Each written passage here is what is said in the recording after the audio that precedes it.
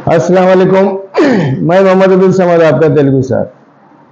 आज मैं आपके सामने एक नया गेस्ट पेपर लेके आपके सामने आया हूँ।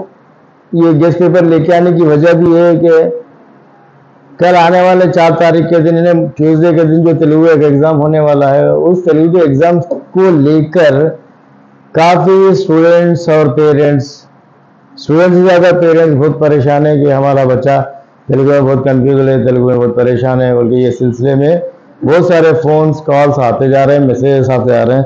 तो ये मैसेजों को नज़रिए में रखते हुए मैं आप लोगों को एक छोटा सा गेस्ट पेपर यानी गेस्ट का मतलब क्या है कि मेरे मेरे नज़रिए में गेस्ट का मतलब ये नहीं होता कि यहाँ पर मैं क्या कर सकता हूँ, बोल के बोलता हूँ। एग्जामिनेशन में ना ही टेंथ क्लास के स्टूडेंट्स पढ़ रहे हैं, बल्कि वो एग्जामिनेशन में मैं खुद भी अगर एग्ज़ाम लिखा तो किस टाइप की तैयारी करना? उस टाइप की तैयारी है। एग्जामिनेशन में आप लोग नहीं, बल्कि स्टूडेंट्स नहीं, बल्कि अगर मैं एग्ज़ाम टेंथ क्लास का एग्ज़ाम अगर लिखा तो किस टाइप से करता हूँ? किस टाइप की तैयारी कर लेना है? उस टाइप का मैं नोट्स कैसा डिज़ाइन कर लेता हूँ? वो नोट्स कैसा प्रेजेंट कर देता हूँ? वो लास्ट मोमेंट में कैसा रिविजन करता हूँ? ये सारी चीज़ों का निचोड़ जोड़ ये अब ये जो आपका गेस्ट पेपर समझो।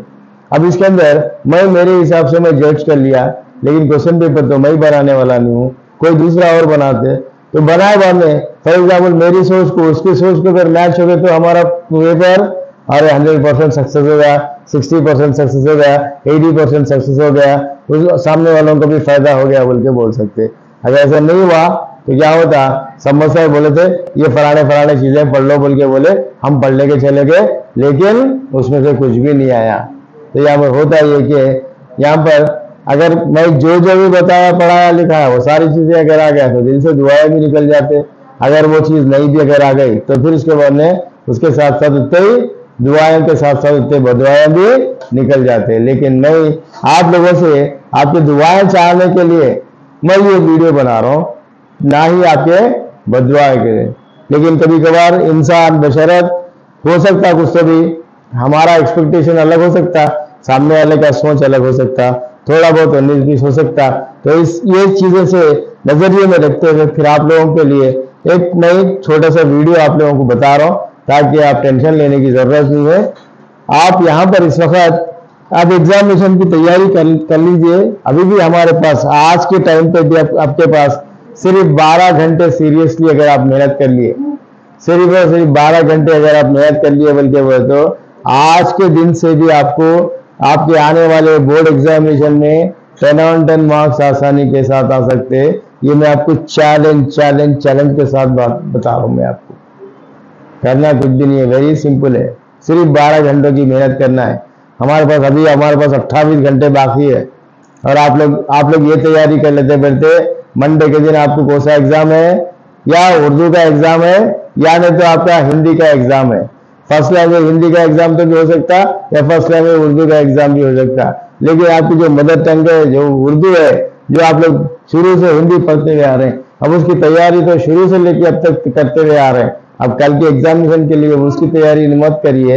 आगे तेलुगु एग्ज़ाम की तैयारी कर लीजिए। क्योंकि आप ये समझते हैं कि तेलुगु हमारे लिए बहुत टफ और मुश्किल का सब्जेक्ट बोल के समझते तो उस वास्ते क्या करो, ये 12 घंटे आप ये तेलुगु सब्जेक्ट के ऊपर कॉन्सेंट्रेट करिए। तेलुगु सब्जेक्ट को लर्न करने की कोशिश करते जाइए। उसके बाद में फिर देखिए आपको कैसे रिज़ल्ट आपको आ जाते हैं। आपका जो टेंशन परेशानी सब सारी आसानी के साथ दूर हो जाती समझे ना? अब ये था थोड़ा सा बकवा। मैं आप लोगों को बताने के लिए ये थोड़ा बोलना ज़रूरी था। अब ये बकवास बंद करके हम क्या करेंगे? ये शुरुआत करेंगे कि अब देखिए अब यहाँ पर कहाँ से कहाँ से, कैसा कैसा पढ़ना है। तो मैं आपको और एक बात पहले, सबसे पहले क्या बोलो? सीन पैसेज करने का है। सीन पैसेज में one two three four lesson पढ़िए। सीन पैसेज में one two three four lesson जब पढ़ते हैं तो हर लेसन से दो दो पैराग्राफ की प्रैक्टिस कर लीजिए। दो दो पैराग्राफ की प्रैक्टिस अगर कर लिए तो अब क्वेश्चन बनाने आता। क्वेश्चन दिए तो आंसर बनाने आता। क्वेश्चन बनाने आता क्वेश्चन दिए तो आंसर बनाने आता। इस तरीके से चार लेसन है one two three four lesson four lesson की आपकी तैयारी कर लिए फोर टू एट पैराग्राफ्स अगर आप लोग खाली पैराग्राफ रीड कर लिए क्वेश्चंस करे तो क्वेश्चन करो बोला पैराग्राफ करो बोलते वो द ब्लैंक्स करो बोलते फिल इन द करो बोला ट्रू और फॉल्स करो बोलते ट्रू और फॉल्स करो बोल के बोला। यानी तो क्वेश्चन दिए तो आंसर्स करो बोला। इस टाइप की तैयारी थोड़ी सी प्रैक्टिस और ये प्रैक्टिस करने की आदत है। आप लोग देख लेते, पढ़ लेते पढ़ते तो नहीं आता, समझ में नहीं आता। आपको आपको पेन पेपर लेके, उसको आपको प्रैक्टिस करना है पेंसिल लेके, जो भी मॉडल पेपर अवेलेबल है आपके पास, वो मॉडल पेपर से प्रैक्टिस करते जाइएगा। प्रैक्टिस करते रहते आपको परफेक्शन आता। ये चीज़ कर लेते चले जाइए। तो यहाँ पर सीन पैसेज करने के लिए आपको मैं चार लेसनों की बात करा। Four to eight four by eight calculation के साथ बता रहा हूँ आपको। फोर टू एट पैराग्राफ्स अगर आप लोग कर लीजिए सीन पैराग्राफ कर लीजिए, एक एक पैराग्राफ को दस दस मिनट के हिसाब से भी अगर आप कैलकुलेशन कर लेके कर लिए तो एटी मिनट्स में आप वो पूरे कंप्लीट कर ले सकते तो ये एट सीन पैसेज अगर आप लोग कर लिए, बोल के बोलते हो आपको। यानी first five marks seen passage के अनसीन पैसेज के भी दस मार्क्स मिल जाते। आपको तरीका मालूम हो जाता क्वेश्चन कैसा फ्रेम करने का तरीका भी मालूम होता। इसके अलावा भी, अगर ये भी अगर आपको समझ में नहीं आया तो समस्या तेलुगु यूट्यूब चैनल पर जाके इसके अंदर how to score ten out ten marks बोल के एक कंप्लीट प्लेलिस्ट है। वो प्लेलिस्ट में क्वेश्चंस कैसे फ्रेम करने का तरीका बताया हूँ। वहाँ से आप क्वेश्चंस कैसा फ्रेम करना, वो तरीका सीख लीजिए। आपको समझ में आया था। उसके बाद में नेक्स्ट यहाँ पर हो गया सीन पैसेज सीन पैसेज भी वैसे ही करना है अनसीन पैसेज को भी वैसे ही करना है। तो ये buy one get one free एक सीन पैसेज की प्रैक्टिस अगर आप कर लिए बोल के बोलते हो अनसीन पैसेज में कुछ भी अगर दे दिया तो भी जैसे सीन पैसेज में आप क्वेश्चन आंसर करें, वैसे अनसीन पैसेज में भी आप आंसर कर सकते तो यहाँ पर आपको ये 15 मार्क्स इस तरीके से आसानी के साथ अब उसके बाद में नेक्स्ट पोएम्स अब पोएमों में बोलेंगे, सर, आप ये ये इतने, ये फ़र्स्ट सेशन के दो पोएमा फिफ्थ लेसन के फाइव पोएमा टोटल ये सेवन नाइन पोएमा है, सर ये ये नाइन पोएमा हम नहीं याद करते, सर। फ़र्स्ट लेसन के सेवन पोएमा फ़र्स्ट लेसन के टू पोएम्स फिफ्थ लेसन के सेवन पोएम्स फ़र्स्ट लेसन के टू पोएम्स फिफ्थ लेसन के सेवन पोएमा ये पूरे नौ पोएमा नौ पोएमा हम नहीं याद करते साहब बोल के बोले तो। कम से कम आपको उसको नौ में से छह आठ तो भी याद करना ज़रूरी है। नौ में से छह या आठ तो भी याद करना ज़रूरी ज़रूरी है। एक आध दुकान लेकर छोड़ दिए तो। मैं तो बोल रहा हूँ कि वो नौ के नौ याद करना ज़रूरी है। अगर आप वहाँ पर मैं इससे पहले वो एक वीडियो बताया उसके अंदर। छोटी अगर पोएम है तो पाँच मिनट में याद हो जाती, बड़ी अगर पोएम है तो दस मिनट में याद हो जाती। वो आर क्यू फॉर्मूला इस्तेमाल करके, मेरा एक वीडियो है आर थ्री फॉर्मूले का एक वीडियो है। वो वीडियो देखते हुए आप प्रैक्टिस कर लीजिए। Hundred percent ten to fifteen minute ten minutes के अंदर अंदर अंदर अंदर आप पूरे पोएमा याद करना है। अब वो पोएमा याद करने के लिए क्या करना है आपको? फ़र्स्ट सेशन के दो इंपॉर्टेंट पोएमा है एंडम रग्गी राकटम बड़ी रिंकेला वो पोएमे याद करना है? जलयांत सीता करने का वो भी इंपॉर्टेंट है। आप लोग इतना ही मत कर लीजिए, सर, इतना ही इंपॉर्टेंट है, ये इतने पढ़ लिए, इतने याद कर लिए नहीं। आज के दिन से जो आपने पढ़ा है, लिखा है, उसको छोड़ के नई चीज़ याद करने की कोशिश करिए। उसको दौर करना कम, नहीं रोके दौर कर लेते जाना।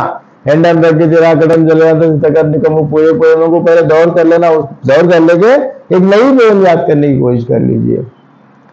तो वो हिसाब से जलयादर्शिता करनी कम याद करना है। फिर उसका फिफ्थ में नोशिन तल्लीदंती की पोएम याद करना है। उसका सिरी वानी की गड़ल जैसी ये पोएम याद करना है। फिर उसके बाद सत्यम वेपुड़ता पढ़ी नहीं, बोल के ये एक बड़ी पोएम है। तीन बड़े पोएमा है। उसके अलावा भी आचार्य केदरिंपकु आचार्य केदरिंपकु ब्रोचिन गरलिंद से एक पोएम है। उसके बाद में विद्युत, भूषित ये इसके अंदर क्या है, ये इसके अंदर मीनिंग है इसके अंदर मीनिंग है। हर एक पोएम में मीनिंग है ऐसे उसके अंदर नड़ुवक में तेरुवकट ये भी पोएम इंपॉर्टेंट है। अब ये पोएमों के क्या दे सकता है एग्जामिनेशन में? सिर्फ़ पोएम लिख के इसका कंप्लीट करो पोएम कंप्लीट करो बोल के बोल सकता। पोएम देके भाव लिखो बोल के बोल सकता। या पोएम देके जम्बुल करके उसको सही करो बोल के बोल सकता।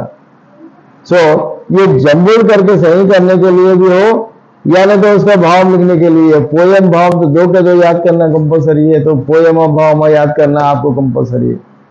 तो फॉर एग्ज़ाम्पल मैं आपको एक छह पोयमा दे दिया। छह पोयमा या आठ पोयमा दे जितने ही पोयमा दे दिया।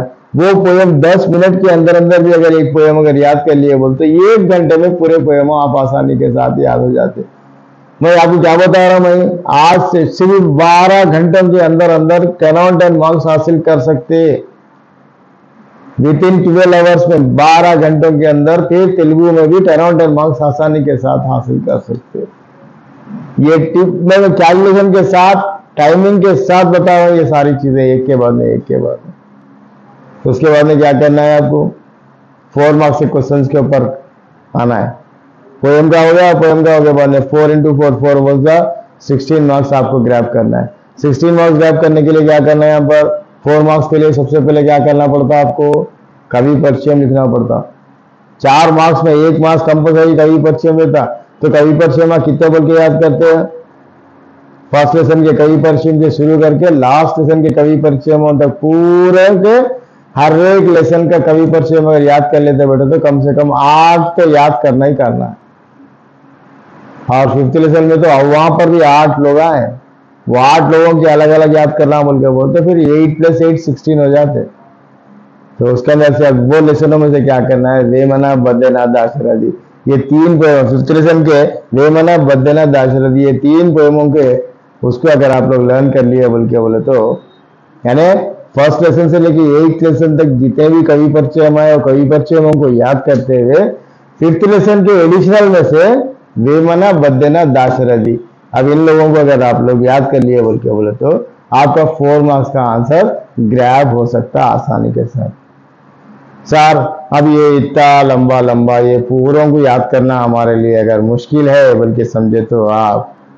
मैं मेरे वीडियोस में समोसा तेलुगु यूट्यूब चैनल पे जाके कवि परिचय को कैसा क्रैक करना, उसका जो फॉर्मेट है वो फॉर्मेट लर्न कर लो, कम से कम फॉर्मेट लर्न कर लेके, क्या करो?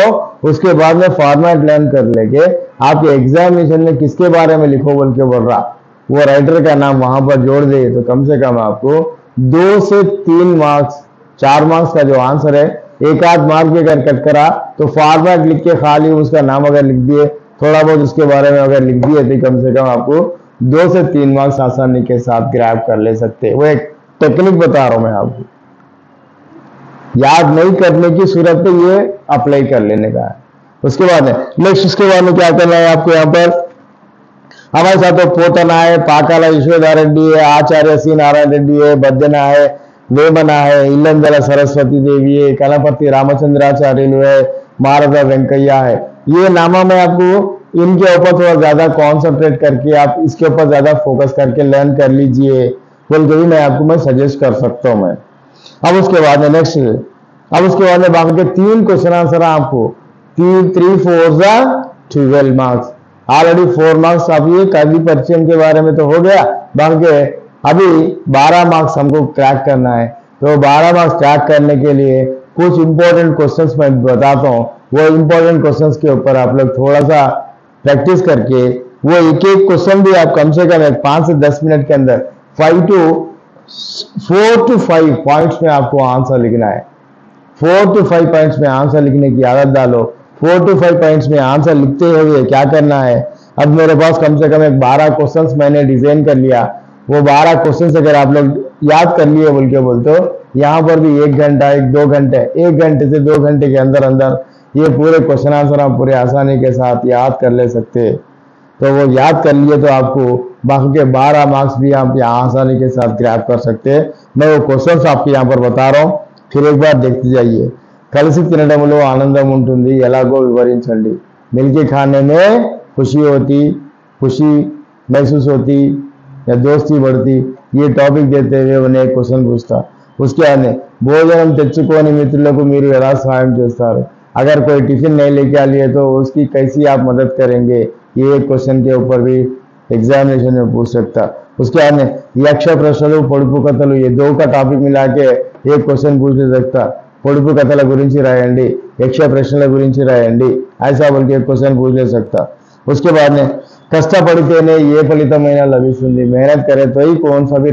नतीजे नतीजे मिलेंगे रिजल्ट्स आएंगे अच्छे रिजल्ट्स आएंगे बोल के प्रूफ करने के लिए किस टाइप का आंसर लिखना है वो एक क्वेश्चन रहेगा उसके बाद में ये लक्ष्यम लेनी जीवितम ये मेरे मेरे नजरिए में तो बहुत इंपॉर्टेंट क्वेश्चन है है ना बिना एम के बिना टारगेट के ऐसी जिंदगी अगर जिंदगी है तो वो आपके पास कोई टारगेट नहीं है कोई एम नहीं है तो अगर ऐसी जिंदगी जी रहे हैं तो वो यूजलेस जिंदगी है वो बेकार की जिंदगी है बल्कि इसके ऊपर एलाबरेट करो बोल के बोल सकता उसके बाद में लक्ष्य साधन को प्रेरणा ఎలా వస్తుంది अब उसके बाद में आपका जो एम है आपका जो टारगेट है वो टारगेट को रीच करने के लिए इंस्पिरेशन कहाँ से लेते हैं आप कहाँ से इंस्पायर होते?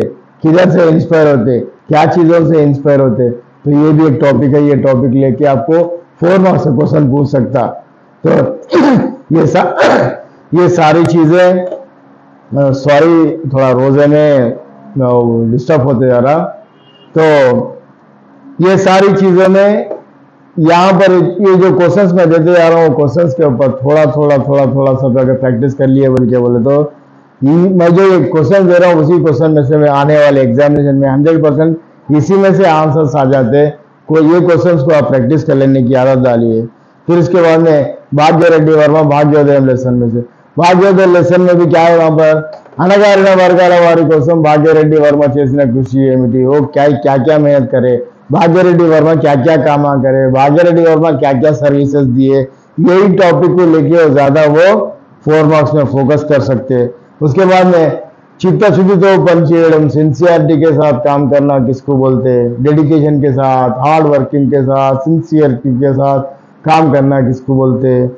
उसके बाद में मानवलमता समान में సమానమే की हर इंसान कोई ऑप्स नहीं है, कोई ऊँचा नहीं है, कोई गरीब नहीं है, कोई अमीर नहीं है, कोई छोटा नहीं है, कोई बड़ा नहीं है। पूरे अल्लाह ताला के नज़रियों में सब लोग बराबर है, बल्कि बोलने के लिए, समझाने के लिए क्या क्या करना पड़ता? ये टॉपिक को एलाबरेट करते हुए लिखो बोल के बोल सकता तो यहाँ पर भी आपको करना है उसके बाद में फिफ्थ लेसन में दो तीन क्वेश्चन आ सकते क्या बोल के आएंगे फिफ्थ लेसन में సంతానం నోచిన तल्लीदंड्री रिलेटेड से टॉपिक रहेगा संतानम ఎలా ఉండాలి यानी औलाद किस टाइप की होनी चाहिए कैसी रहनी चाहिए बल्कि उसके बारे में पूछेंगे फिर उसके बाद में और एक क्वेश्चन क्या रहेगा कंचु बंगारम ये कंचु का माने लोहा बंगारम का बंगारम के माने सोना ये लोहा और सोने को कैसे कभी किस किस से कंपेयर करके पूछा बताया बल्कि वहां पर भी एक क्वेश्चन कर सकता अब उसके बाद में हमारे तेलुगु महिला लेसन में से एक क्वेश्चन మన సంస్కృతి సంప్రదాయాలను కాపాడడానికి మనం ఏం చేయాల్సి ఉంటుంది हमारे कल्चर को हमारे ट्रेडिशन को बरकरार रखने के लिए यानी उसको बचा के रखने के लिए हमको क्या क्या इकदाम लेना चाहिए क्या क्या चीज़ें करनी चाहिए ये सारी चीज़ें हम्म, वहाँ पर हम्म, पेश कर सकते, ऐसा क्वेश्चन पूछ सकता। फिर उसके बाद में श्रमजी इलेक्शन में से भी एक फोर मार्क्स का क्वेश्चन पूछ सकता। और यहाँ पर ये और एक चीज़, ये पूरा हो गया बाद में फिर आपको मैं बताता हूँ। विचार हृदय मंटे तड़पता हुआ दिल बोलते, किसको बोलते? कई क्या से ये तड़पता हुआ दिल बोल के वर्ड यहाँ पर इस्तेमाल करने की नौबत आई? पोएट ऐसा तड़पता हुआ दिल बोल के बोलने का मतलब क्या बोल के कई कैसे बोल रहा? इसके ऊपर ज़ोर डालिए इसके ऊपर ఎలాబరేట్ करिए बोल के क्वेश्चन कर सकते उसके अन्य पेम्बर्ती वारिदी कलाहृदयमणि ఎలా చెప్పవాలి यानी पेम्बर्ती के जो आर्टिस्ट आए ये आर्टिस्टों का दिल जो जो है वो दरिया दिल वो हमेशा बोल के वो हमेशा वो लोग खाने के लिए नहीं बल्कि सिर्फ और सिर्फ उनके आर्ट के लिए तड़पते रहते तो उसके बारे में एलाबरेट करो बोल के ऐसा ये क्वेश्चन फोर मार्क्स के क्वेश्चन इस टाइप के क्वेश्चन आपको पूछते रहता तो ये क्वेश्चन आपको क्या करना है थोड़ी सी हर question ten to ten to fifteen minutes के अंदर अंदर आप आसानी के साथ ये पूरे जितने क्वेश्चन आंसर्स मैंने बताया, उतने क्वेश्चन आंसर्स आप आसानी के साथ प्रैक्टिस कर सकते हैं। बड़ा मुश्किल का काम नहीं है। आराम से टाइम है, अभी आपके पास वक्त है। अब आप हिंदी और तेलुगु दो, ये लास्ट मिनट का रिवीजन के टाइप में वो एक घंटे के अंदर अंदर पूरा कंप्लीट कर लीजिए। उसको रिवाइज कर लीजिए। रिवाइज कर लेके ये तेलुगु के सब्जेक्ट के ऊपर फोकस करिए। और रही दूसरी बात इसके अंदर और मैं यहाँ पर बता रहा हूँ, आपको buy one get one free का एक ऑफ़र देता हूँ, एक टिप देता हूँ। क्या बोल के टिप दे रहा हूँ? मुझे बोले तो आप ये थर्ड लेसन में थर्ड लेसन में तीन इंपॉर्टेंट फोर मार्क्स के क्वेश्चन आए। ये तीन इंपॉर्टेंट के क्वेश्चन आंसर अगर आप लर्न कर लिए, बोल के बोलते हो वो तीन आंसरों को मिला के आपको एट मार्क्स का आंसर भी लिख दे सकते हैं वहाँ पर। एक एडवांटेज ऐसा ही मिल जाता। और एक क्या होता है यहाँ पर? लक्ष्य प्रश्न पुड़पु कतल ये दो फोर मार्क्स के आंसर्स मैंने आपको बताया, इसके ऊपर आप ज़ोर डालो, बोल के बोला। ये दो मार्क्स ये दो आंसर्स अगर आप लोग लर्न कर लिए एग्जामिनेशन में अगर एट मार्क्स में पूछा तो ये दो आंसर आप मिला के लिखे तो भी आपका एट मार्क्स आंसर कंप्लीट हो जाता। और उसके बाद में, और यहाँ पर क्या बोला?